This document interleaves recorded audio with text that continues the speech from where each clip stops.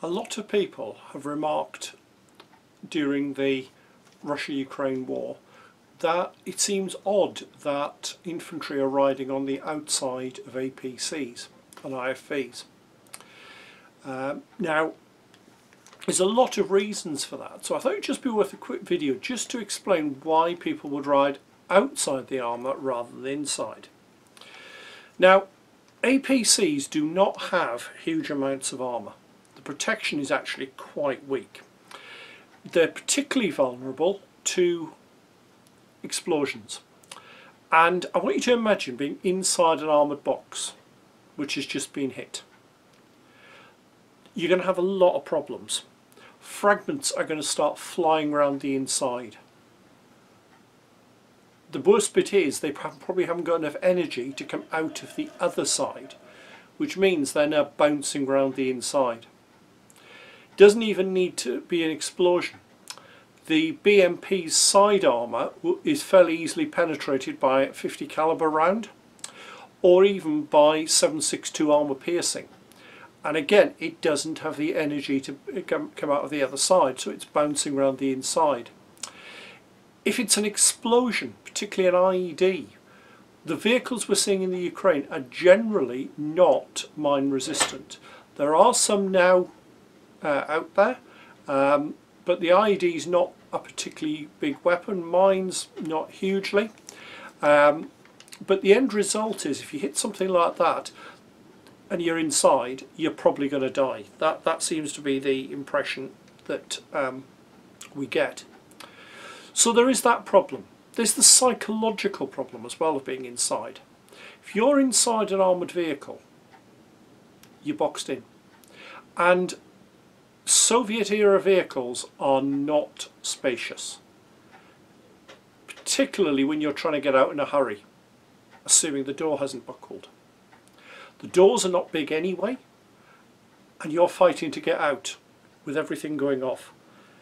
It, and even before that happens, the psychology, as I said, you, you're dreading it. You, you, you've lost that, you're enclosed. So it's not the ideal vehicle to be inside in a war zone. So why ride on the outside then? Well, riding on the outside gives you the illusion, if that's the best way to describe it, the illusion um, of safety. I know that's a bit counterintuitive, but you're outside. It feels safer. Okay, so we've got that aspect to it but you've also got much better visibility. And that visibility is 360 now if you ever get into an APC and try and view through the periscopes you'll see visibility is next to nil. Being outside you've got better awareness. You can see things better. Now that's got the benefit it was found in Vietnam in close terrain that actually you can fight the ambush from outside fairly quickly if you spot it first. So you actually have a benefit there that isn't um, obvious. If the vehicle's hit, yes you're going to take casualties but you'll only take a couple in all probability. The rest are dismounted and it's very quick to get off a vehicle, particularly if you're under fire. If you're inside, you're trying to fight your way through those hatches with everybody else trying to do it, it's difficult. So there is that rapid dismount ability as well. So you've got benefits there.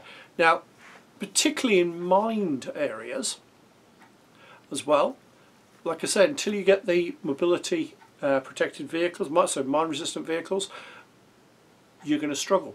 And this was the reason that the Americans were using the travelling outside in Vietnam so much was the fact that if they were outside and the vehicle hit a mine, it was usually only the people inside were injured. Although one thing to watch for um, was if feet were hanging over edges and things, they would they would often be, be uh, hit by the fragmentation and the blast. So sitting completely on top works well. And this is a bit of a benefit when you have the uh, the BTR series with um, the sloped sides. It's much easier to keep your feet on top. So that's another sort of aspect to it. Uh, there is a bit of a history behind it as well. The Russians were the first to develop the tank rider concept or desant uh, tactics and this was used in Spain in the 1930s um, and was found to be fairly effective.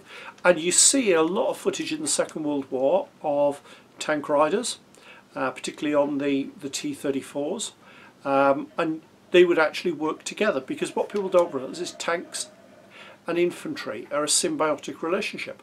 The tank deals with long range threats, the infantry stops people creeping up on the tank, particularly with things like Panzerfausts like you can see on the wall behind me. So there is a benefit there. Um, going past the end of the Second World War, um, they actually started fitting the T55 and T62 with uh, rails around the turret as handholds. So it was actually sort of a main tactic. However, there was um, the, the, guidelines were that you should not be using tank riders within a kilometre of the front line. So that was something to, to consider. Um, so it sort of gradually started dying a death up until the Second Chechen War. Now in the Second Chechen War, uh, mines were a threat, RPG hits were a threat, so official, unofficially troops were told to stay inside the vehicles.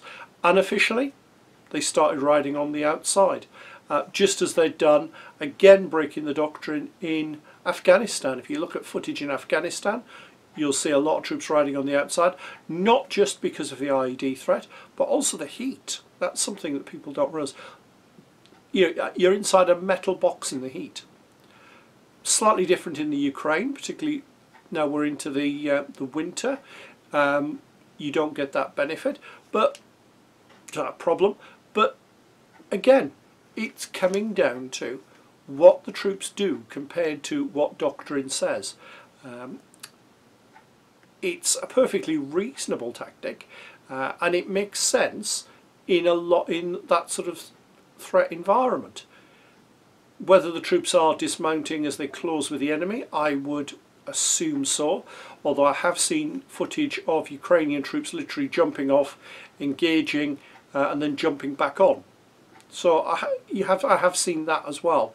Um, I can't share that one because that's copyrighted material. Um, but keep an eye on what you see, see in the footage. Uh, and if you do see different, I'd be very interested to know. So if you see anything interesting, please send me a link to that. Hopefully you've enjoyed the video. If you have, please click on the like button below so that I know what people like and I know what to make more of. Uh, alternatively, if you've enjoyed it, and think you'd like to see more, please click on the subscribe button. That way you get notified by YouTube whenever I bring out a new video. And you never know, there might be something in there that you hadn't considered, because I do cover a variety of things on the channel. And finally, if you have a little bit of cash going, uh, I now have a Patreon account. Um, I'm always looking for patrons because at the end of the day, let's be perfectly honest, it's a good way for me to get a little bit of money that will use to buy review items or to travel to museums and so on. Uh, I don't put a huge amount on that. At the minute all we've got is one tier charging a pound uh, a month which just as I said helps cover my costs. See you soon.